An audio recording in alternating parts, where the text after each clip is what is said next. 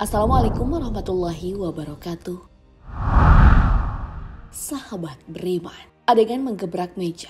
Sepertinya sedang cukup tren akhir-akhir ini. Masih jelas diingatan. Adegan ikonik demi Tuhan yang pernah menghebohkan publik beberapa tahun lalu.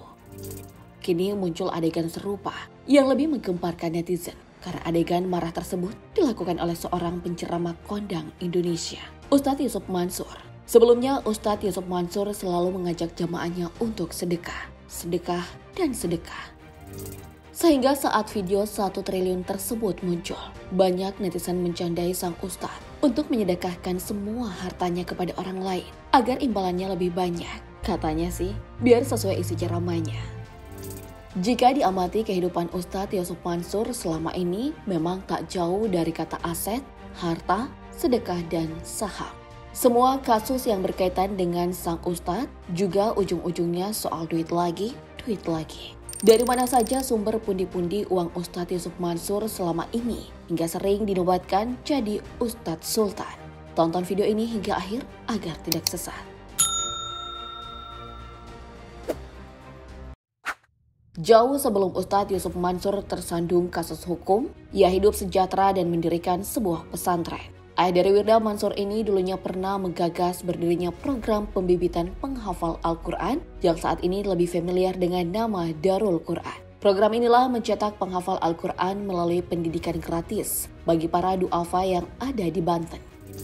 Aktivitas yang dilakukan sang ustadz saat itu bisa dianggap sangat mulia. Ia sukses mencetak banyak tahfiz berkualitas di Indonesia. Para pecinta Quran dan para tahfiz telah mendapat kedudukan mulia di mata Allah dan Rasulullah Sallallahu Alaihi Wasallam. Barang siapa yang membaca atau menghafal Al-Quran, maka sungguh dirinya telah menyamai derajat kenabian, hanya saja tidak ada wahyu baginya. Lalu bagaimana dengan mereka yang mengelola pondok tahfiz? Rasulullah Sallallahu Alaihi Wasallam bersabda, tak hanya itu, Rasulullah sangat mencintai hambanya yang mewakafkan Al-Quran. Salah satu amalan kebaikan yang pahalanya terus terbawa kepada si mayit sampai ke alam kuburnya adalah sedekah dan mewariskan atau mewakafkan musyaf Al-Quran. Hadis riwayat Bukhari.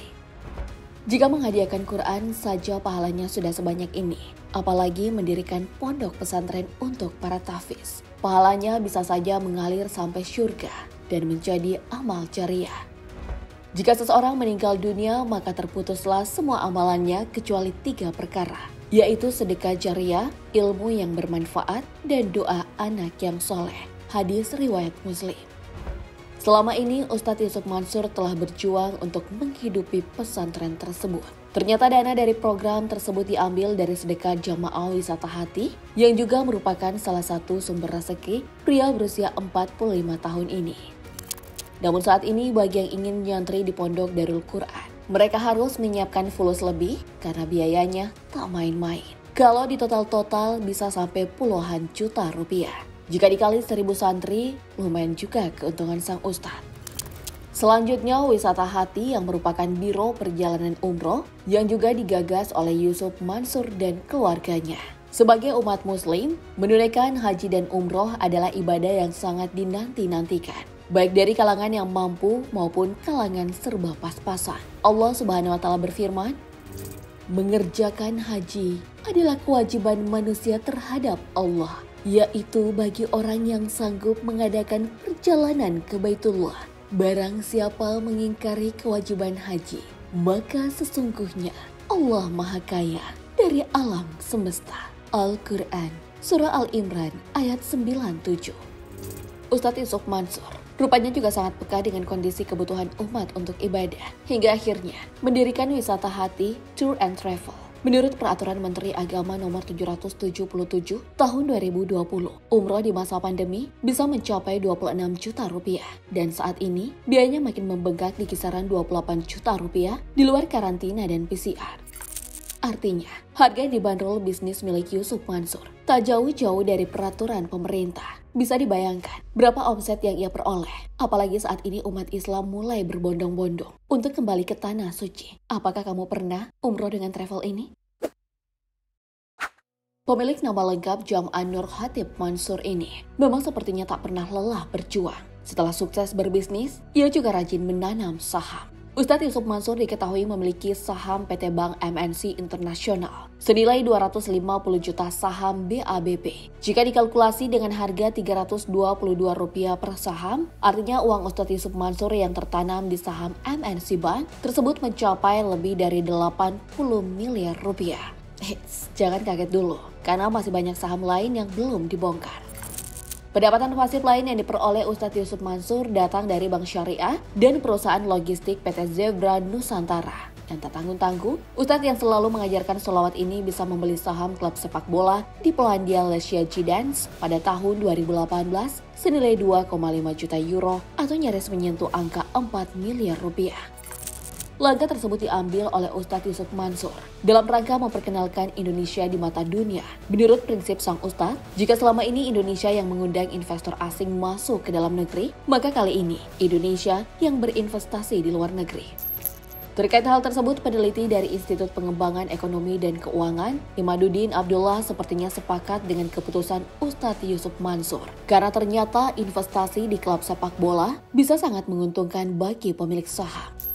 Namun Ustadz Yusuf Mansur harus tetap waspada dengan segala kemungkinan yang ada. Bisa saja kinerja dan prestasi klub berubah sewaktu-waktu. Dan kalau gagal terus, ujung-ujungnya rugi. Bukannya gol, malah zong.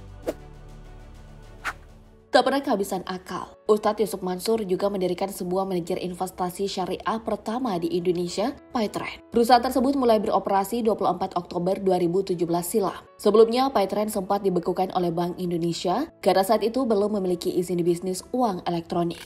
Sebenarnya aplikasi ini bisa dipakai untuk apa saja. Pengguna imani dari Paytrend ternyata dapat digunakan untuk membayar listrik, air pump, tiket pesawat, kereta api, travel, voucher game, dan sedekah. Tentu hal ini juga banyak membantu perekonomian umat. Namun meski begitu, Ustadz Yusuf Mansur sepertinya harus bolak-balik terjerat kasus di kantor polisi karena perusahaan kesayangan miliknya ini. Sebelum videonya viral terunggah di media sosial beberapa waktu lalu, ia sempat digugat 98,7 triliun ke Pengadilan Negeri Jakarta Selatan atas tuduhan ingkar janji Zaini Mustafa.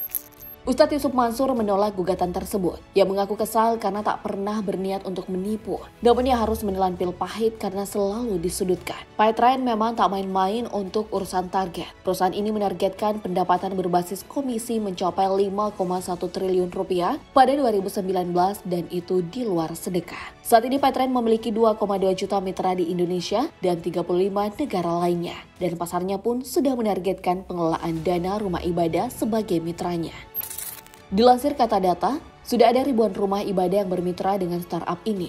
Bahkan sebagai contoh masjid yang berlokasi di Bandung, menurut pihak mereka dalam kurun waktu satu jam, sudah ada sedekah 15 juta per lokasi. Bagaimana jika sudah ada ratusan lokasi yang tersebar di Indonesia? Pastinya jadi cuan banget dan manfaatnya semakin luas. Tapi harapan tersebut sepertinya harus pupus perlahan karena pengelolaan yang masih dianggap amburadul. Akhirnya yang saat ini kita lihat hanya bulir air mata Ustadz alumni UIN Syarif Hidayatullah ini menangisi nasib perusahaan rintisan miliknya. Semoga segera menemukan jalan keluar. Desas-desus honor ceramah Yusuf Mansur pun juga semakin ramai di telinga netizen. Pada sebuah akun YouTube, seorang pengguna bernama Haikal Waku Waku mengungkapkan jika honor yang dipasang oleh Ustadz Yusuf Mansur tak masuk akal dan terlalu mahal, yakni 30 juta rupiah. Wow, ada juga yang menduga sang ustadz baru mau ceramah jika diberikan tarif 70 juta rupiah. Namun setelah ditelusuri, Ustadz Yusuf Mansur memberikan klarifikasi bahwa dirinya sama sekali tidak memberikan red card jika ingin ceramah. Jadi berapa sebenarnya tarif normal Ustadz Yusuf Mansur? Menurut beberapa informasi, memang tarif ceramah Ustadz di program TV dan ceramah lain mencapai jutaan rupiah. Namun ia tak pernah mematok harga selangit untuk mendakwakan ajaran Islam sahabat beriman. Dari kekayaan Yusuf Mansur tadi, mana yang mau kamu selawatin? Allahu a'lam Assalamualaikum warahmatullahi wabarakatuh.